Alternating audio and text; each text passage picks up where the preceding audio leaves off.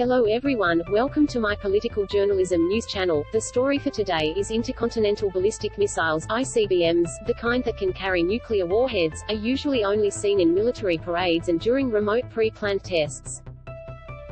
So when Vladimir Putin's Ministry of Defense posted a video of a column of Russian ICBMs casually driving down a highway with Russian flags waving during this crisis, it raised heart rates as much as eyebrows.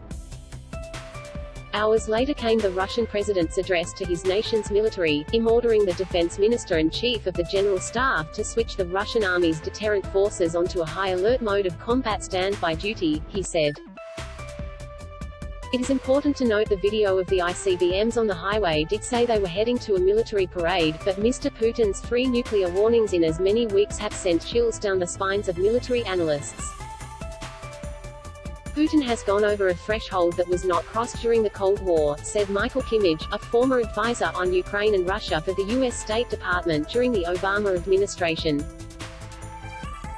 The Cold War messaging from the Soviet Union, from the United States, about nuclear weapons was far more disciplined than what Putin has been doing in the last couple of weeks. H has made one just blatant threat about using nuclear weapons if the situation doesn't go his way. Obviously, you don't want to get into a war of words, or a kind of tit for tat, or some kind of escalatory spiral politically with Putin. But I think you can't let that go unanswered, French Foreign Minister, Jean-Yves Le Drian did respond. Vladimir Putin must also understand that the Atlantic Alliance is a nuclear alliance, he told French TV. The French DIDNT find the perfect recipe, Professor Kimmage said. But to go back and forth, and keep on a level with Putin, that to me makes perfect sense at the moment.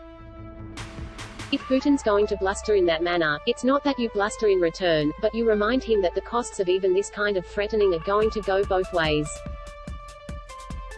If HES going to break the rules, there will be certain kinds of consequences. At this time of international crisis, Russia and the US must keep lines of communication open, he said.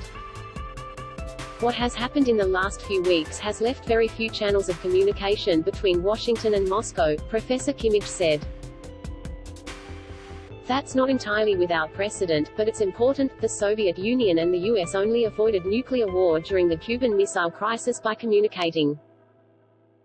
A new domino effect is playing out and it does not bode well. Professor Kimmage spelled it out like this. Putin's repeated messaging about using nuclear weapons comes at a time when there's almost complete mistrust among Western leaders and the Russian leader, he said.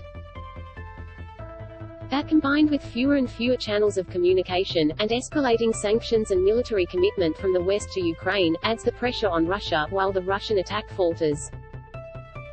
It doesn't mean Putin will use nuclear weapons of course, I doubt HES suicidal, but at the moment this is a crisis with no exit. That is all for today news, thank you for watching to my channel, please be sure to leave your comment and subscribe below for more news update.